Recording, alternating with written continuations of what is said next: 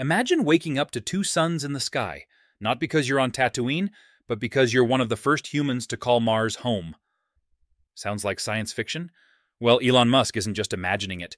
He's betting billions of dollars and his entire legacy that you'll be booking your ticket to the Red Planet sooner than you think. But here's what they're not telling you about Mars colonization. The truth is far more fascinating and terrifying than anyone expected. In the next few minutes, you'll discover why the richest man on Earth is obsessed with abandoning it, what this means for your children's future, and the mind blowing technology that's making it all possible. This isn't just another space race, it's humanity's greatest gamble. And the stakes? Just the survival of our entire species. Throughout human history, we've dreamed of reaching the stars. But it wasn't until a young entrepreneur found himself frustrated with NASA's website in 2001 that this dream started becoming reality. Elon Musk, fresh from selling PayPal, wanted to reignite humanity's space ambitions. His first goal, simply sending a plant to Mars.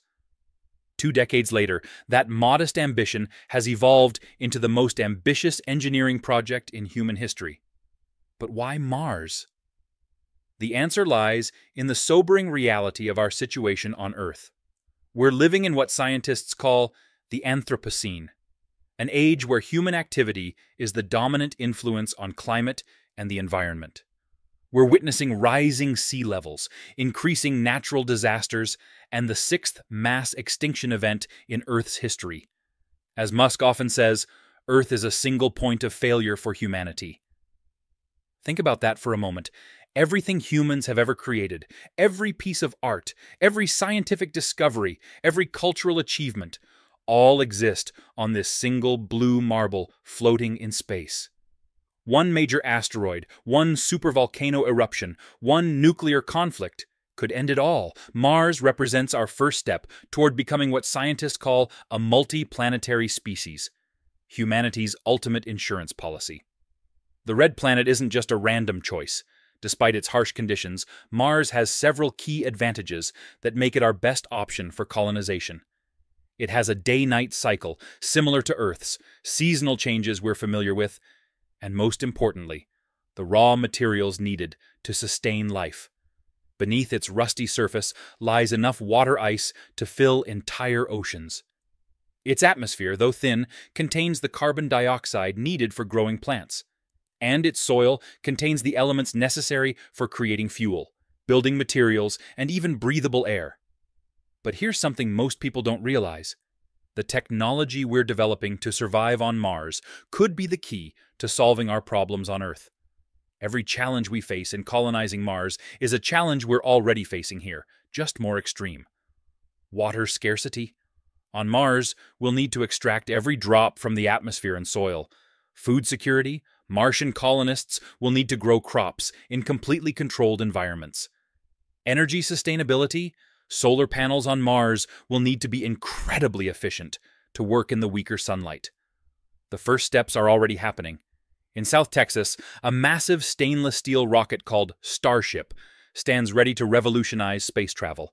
It's not just bigger than anything that's come before, it's fundamentally different. Imagine a rocket that can be refueled in orbit, carry 100 people across interplanetary space, and land vertically on another world. Then imagine it being reused, like an airplane, drastically reducing the cost of reaching Mars. Now, let's address the elephant in the room, or rather the red dust in the airlock. Mars wants to kill you. The average temperature is negative 63 degrees Celsius. The atmosphere is 95% carbon dioxide, and so thin you'd need a pressure suit to survive. The radiation exposure would significantly increase your cancer risk. And that's just the beginning. The first colonists will face challenges that make the hardships of early American settlers look like a camping trip. They'll need to create everything from scratch air to breathe, water to drink, food to eat. Every system must work perfectly because the nearest hardware store is 140 million miles away. But here's where human ingenuity comes in. Engineers are developing what they call closed loop life support systems. Imagine a system where nothing goes to waste. The water you drink is recycled from the air you breathe. The food you eat is grown in soil, created from Martian rocks, and your own composted waste. The oxygen you breathe is extracted from Mars's carbon dioxide atmosphere. The habitats themselves will be engineering marvels. Current designs call for inflatable structures covered with several meters of Martian soil for radiation protection. Inside, colonists will have everything they need living quarters, hydroponic farms, medical facilities, and workshops equipped with 3D printers capable of creating replacement parts. But the technical challenges might actually be the easy part. The real test will be psychological. How will humans cope with being millions of miles from home, living in confined spaces with the same small group of people? How will we handle the knowledge that Earth is just a bright star in the Martian night sky? The solutions being developed are fascinating. Virtual reality systems will help colonists feel connected to Earth. Carefully designed social structures will help maintain mental health. And the sheer excitement of being part of humanity's greatest adventure will provide powerful motivation. Let's talk about the economy of Mars. Yes, you heard that right. Musk's vision isn't just about survival. It's about creating a self-sustaining civilization the initial ticket price, around $500,000, dropping to $100,000 over time. That's the price of an average American home.